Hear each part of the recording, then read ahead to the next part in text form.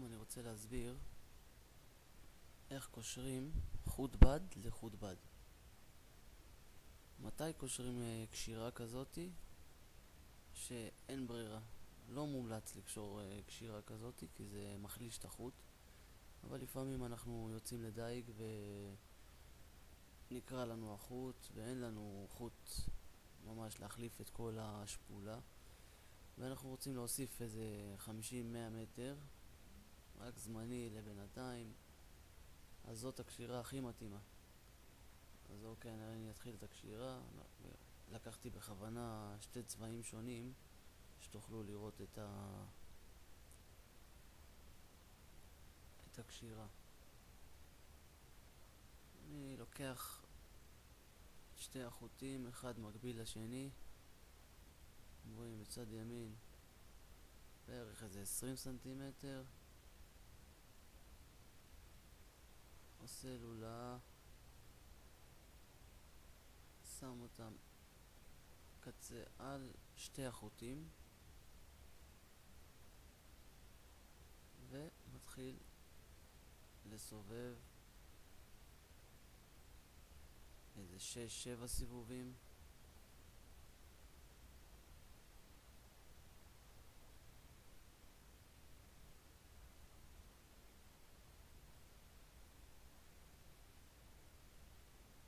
מושך את הקצה לאט לאט, אתם רואים זה מסתדר.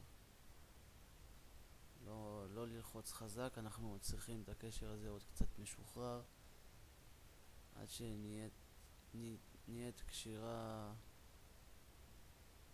כזאת כמו שאתם רואים. אותו דבר צד שני לוקח עכשיו את הצד הצבע הכתום כמו שאתם רואים השני, 20 סנטימטר בערך, לולה,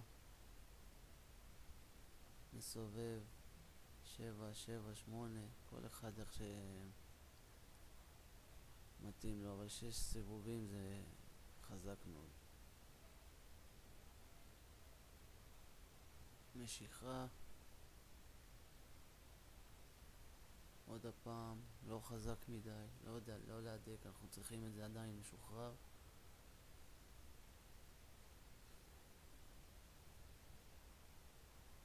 זה מה שנוצר לנו, קשירה בצד ימין, בצד שמאל. אנחנו עכשיו עושים מתיחה של החוט, שתי הקשרים נפגשים ביחד.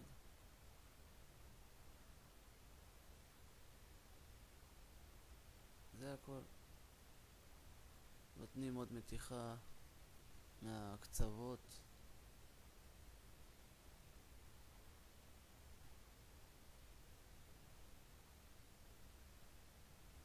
הפעם מושכים חזק, רואים שזה יתהדק כמו שצריך. אתם רואים?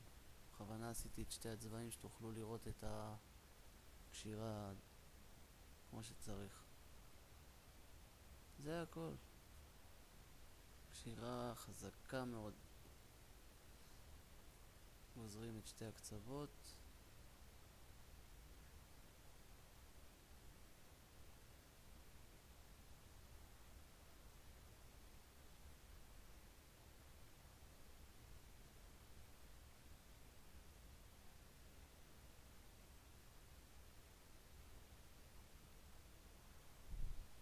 ממש דקה.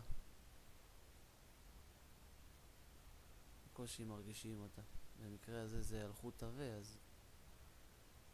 אבל uh, עוד הפעם בודקים, קשירה ממש.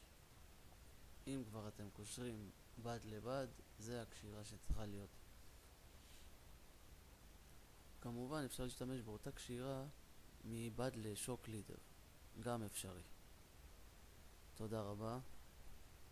תמשיכו לצפות, יהיו עוד הרבה קשירות והרבה דברים טובים.